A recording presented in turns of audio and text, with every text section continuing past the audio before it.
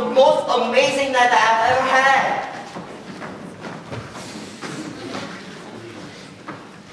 Oh, so good.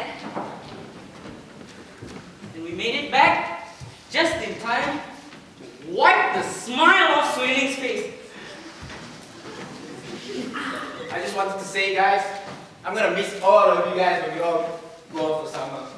I know. I feel like we've really bonded over this. I mean, friendship like breaking into a party together. Guys, let's not forget tomorrow's celebration dinner. And drinks will be on me. Oh! Snacks! Provided that these two don't come late. Oh. So that's a challenge for them. Ah, but before that, uh, Well, hello everyone. I hope you all had. What's this? Drinks? What? How, how, how did you? Who's that? Paul? What are you doing in my holy room? pleasure to see you, Suiling. Look, I don't have, I don't care how you're going into that party, but you're all in trouble because I am about to call the police. And um, what charges might those be? For trespassing, of course. You entered illegally without the committee's permission. And you, of Of all people should know that! I do in fact know that! In fact, I have the contract right here. I'm I'm fine.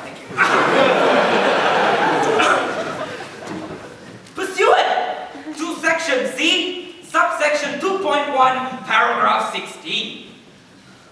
Security guards hired by the security officer, aka yours truly, have the permission to enter the college grounds at the discretion of, would you look at that, the security officer, signed by, oh, oh, oh, you. What? It's all legal. Let me look at Let's bounce, guys. I, I can't. Wait.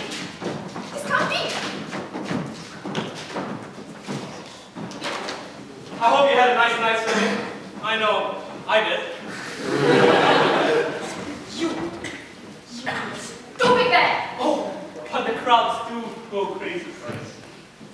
But seriously, Suiling, you're a horrible person. And you've lost. So just give it up, right? And as for you, and all the horrible things she's done to you, you deserve to be walking out dramatically with me.